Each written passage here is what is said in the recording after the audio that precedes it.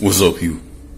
This is another episode of Taylor Made Macrenzie Show.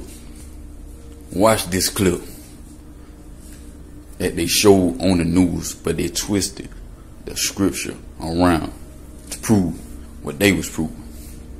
Read Zechariah. Andrew Cuomo uh, after the biggest single day jump in deaths. New Jersey has a serious problem in New Jersey and a growing problem. Uh, then Michigan, then California, then Massachusetts.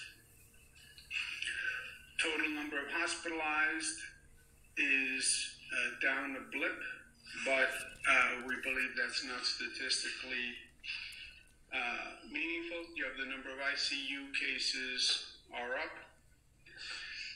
The number of intubations are up. The number of discharges are also up. And this is interesting. Two thirds of the people who have been hospitalized have been discharged. Okay?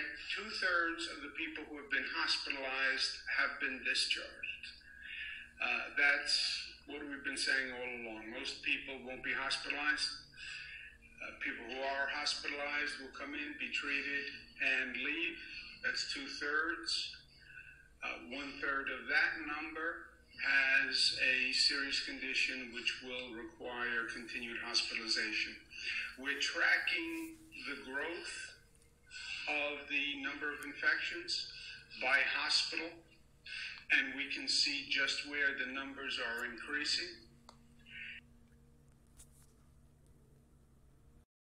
Oh yeah.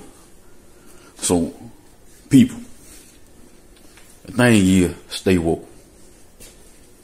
Because the objective is to keep the people of God in bondage. And that's what the wicked do. That's what the wicked come to do. They come to keep the people in bondage. And why? Because if the people of God, children of God, are in bondage, now they gonna feel that they still hold the position above the people, the children of God. Understand that sometimes it's not based upon where you was at. But it's based upon where you at. Still all praise to the Most High.